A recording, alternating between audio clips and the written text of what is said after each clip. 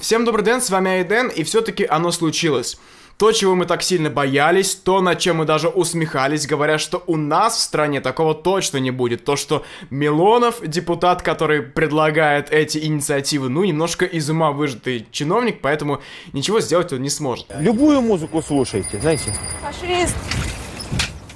Он не смог сделать, но зато смогли сделать другие власти. Власти Украины а, запретили, можно так сказать, доступ а, к социальным сетям, основным и поисковым системам, которые работают у нас в России, гражданам своей страны. Сегодня утром Петр Порошенко, это президент Украины, если что, уздает указ о расширении экономических санкций в основном против России. Сам указ вышел на официальном сайте, там очень много информации, она вся на украинском языке, около 300 страниц. Если вам интересно, почитайте в описании. Туда попало более тысячи человек, это представители разных стран, там США, Германия, Россия, конечно же. Эти люди не смогут посещать Украину, то есть им запрещен въезд туда, ну и всякие там различные санкционные а, обязательства, то есть, например, если у них были гранты какие-то или другие э, награды в Украине, то они автоматически аннулируются. Также туда попало более 400 организаций. Вот как раз таки эти организации нас с вами и интересуют. Вообще санкции в наше время это не новость, их э, разные страны вводят друг против друга, однако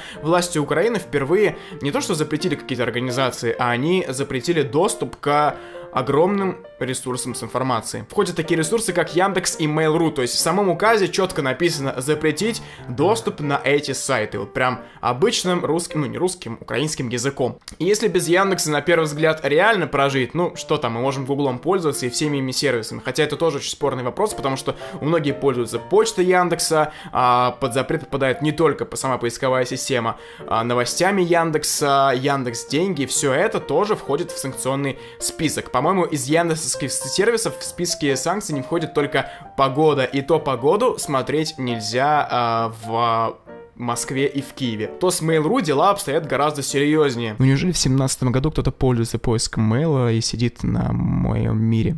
Mail.ru также принадлежат Одноклассники, которые тоже указаны в этом списке, и ВКонтакте, так что если вы проживаете на территории Украины, то будьте уверены, что, скорее всего, даже не скорее всего, а точно доступ к этим сайтам в ближайшее время у вас будет заблокирован на 3 года, как указано в самом указе. Тавтология. Но не буду же я перезаписывать этот дубль, правильно? Правда, меня интересует вопрос, ответ на который я не смог найти нигде. Как скоро провайдеры Украины начнут блокировать а, Одноклассники, ВКонтакте, Mail.ru, Яндекс и остальные сайты, которые указаны в а, самом законе. А, мне скинули скриншот, вы можете его видеть здесь на экране. Якобы уже начинается блокировка. Но, честно говоря, в этот скриншот я очень слабо верю, потому что я не смог найти вот этого добробута. То есть такого провайдера в Украине просто не существует, или не очень хорошо шифруется, и у них просто нет никакого такого сайта. Однако, если это подлинный скрин, то очень забавно, как провайдер позаботился о вашем времени и сразу указал те браузеры, благодаря которым можно обойти это ограничение. Ну, по крайней мере, Tor, самый из них известный, скачивайте, и плюс ко всему, ваше пребывание в интернете будет наиболее с анонимным. Самое интересное, что эта новость больше всего интересует и будоражит интерес в первую очередь тех, кто, в принципе, никак не связан с этой проблемой. Ну то есть, серьезно, читаешь новости, там везде твердят о том, что вот, теперь нельзя будет пользоваться социальными сетями в Украине. Я пишу ребятам, которые там э, из Киева, из Украины, спрашиваю, ну что, как теперь с этим вы будете жить? Они такие, ну, у нас все пока нормально, типа, ну и пофиг, сейчас, ну, что будет, что будет. Это, я считаю, правильное решение, потому что, ну, проблема не настолько глобальная, именно которая касается социальных сетей. То есть в 2017 году запретить пользоваться теми или иными сайтами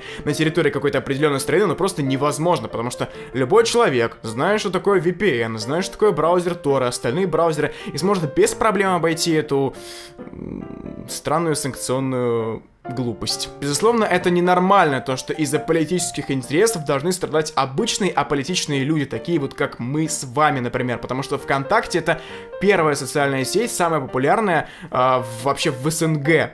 И блокировать такой большой ресурс, это, мне кажется, ну, не знаю, не в угоду России уж точно в угоду своих же граждан. Уже сейчас создается петиция об отмене этого указа, но вы сами знаете, что такое петиция и какой вообще от нее смысл. В принципе, никакой, но на всякий случай я оставлю ее в описании.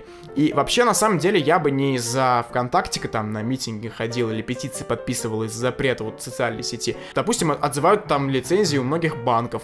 Люди там могли деньги, сбережения хранить. Это, мне кажется, гораздо глобальнейшая проблема, чем запрет, пускай самой популярной социальной сети, но который можно без проблем обойти. Я просто пролистываю указ, вот, например, Аэрофлот, это крупнейший авиаперевозчик, на него тоже накладываются эти санкции. То есть есть гораздо больше компаний, э, запрет которых может вызвать э, наибольшие проблемы, чем запрет ВКонтактика или Одноклассников.